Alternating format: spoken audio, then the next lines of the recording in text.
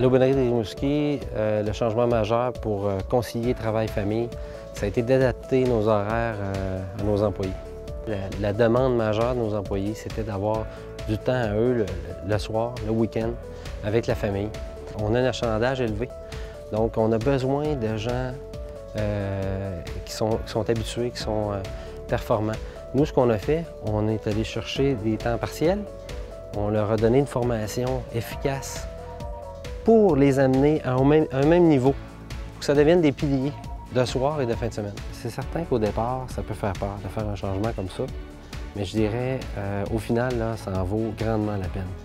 Euh, ça se fait pas en claquant des doigts, mais petit peu par petit peu, ça, devient efficace, puis on est gagnant sur toute la ligne.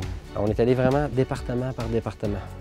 Euh, la, la gérante ou la responsable avec la temps plein passait du temps avec la temps partiel euh, en soirée pour répondre à toutes les questions. C'est- carrément les temps pleins qui, forment nos temps partiels euh, dans une vision qui est la même.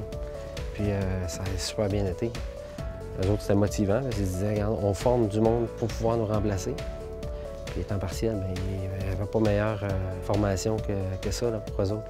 Ici à Rimouski, vous êtes servi de soir par nos temps partiels et de jour, c'est nos temps pleins euh, qui sont là du lundi au vendredi.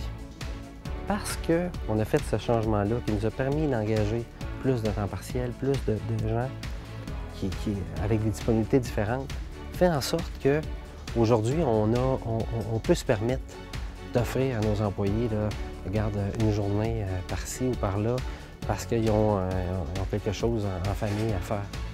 C'est vraiment le fait d'avoir fait ce changement-là, le fait d'avoir laissé des heures au temps partiel nous a permis d'en engager plus, puis nous, nous permet aussi d'avoir une meilleure flexibilité.